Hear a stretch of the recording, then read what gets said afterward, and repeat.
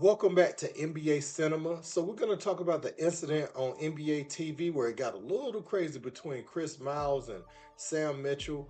And Sam Mitchell really went in, started leaking the man's address and everything. We're going to get into it. I ain't going to talk your head off before we play the clip, but I'm going to react to it uh, at the end. Let's check it out. Hey Sam, what do you think about the fact that Steve Kerr doesn't get going as head coach? Yeah, I saw that. The coaches, the coaches don't get a medals. I guess it just tells you what what international how they value coaches. Not at all.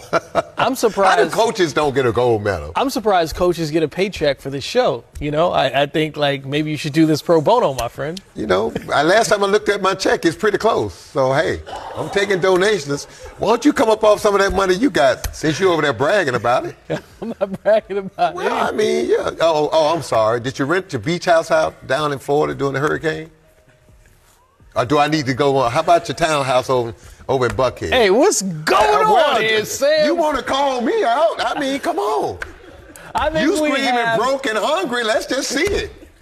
You know, I know, I know what you have and where you live, young fella. So you need to stop. I think we have snitches on the show today. No, we don't have snitches. We have Sam truth tellers. Mitchell. We have truth tellers. So you're the one who crying poor and destitute up here when do I need to keep going on further, more and more?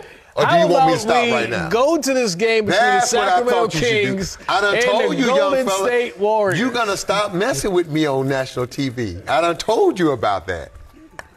Hey, do I need to give out the address? Because you're not at home right now. Warriors rich in history of championships and now an Olympic gold medal. Florida, huh? You had the pool put in yet? I think that's your house. No, that's your house, Chris. Oh, that's your rental property house. There we go. All right. Warriors. Boy, this game can't, can't tip fast enough. We'll be back at halftime ah. and after the game as well. So a couple things stand out when I listen to that. Um, Sam Mitchell says you're gonna stop playing with me on national TV, young fella. So this isn't the first incident or even a second where he felt offended. This seems like a thing that maybe even has been discussed behind the scenes before, but uh, this guy says things that obviously offend Sam and feels like he's trying to play his face in front of a national audience. And, you know, he just reached this ticking point today.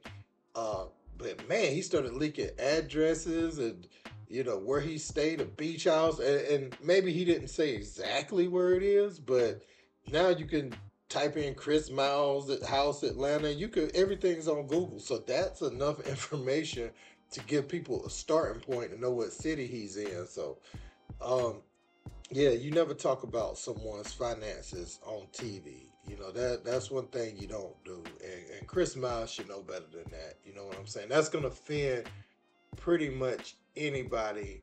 Uh, you know, you're trying to call somebody broke, basically you know, saying you feel like you should do this pro bono and all that. And pro bono, only thing you're gonna be doing or catch anybody doing like that is in a soup kitchen or something like that. But if I have to come to a job at a certain time every day, then I need my money for it. You know, when they start uh, my, my time is allotted to be there at certain times. You know, I, I got to get paid for that every time.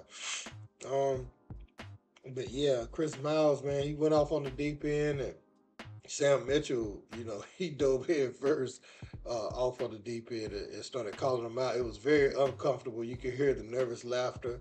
You could hear them even still talking about it when they came back from commercial. So hopefully he learned his lesson and hopefully Sam isn't reprimanded too bad for this because Sam does a good job over there on NBA TV. And it also makes me wonder, uh, as like Isiah Thomas, Steve Smith, some of those guys, have they had some of the same um, things to say, you know, as far as uh, Chris Williamson, you know, I mean Chris Chris Miles, you know, I wonder uh, has the NBA Brotherhood talked about it as far as like some of the things he says on air or whatever. But yeah, man, let me know what you guys think in the comments. Don't forget to like, share, and subscribe. To next time, peace.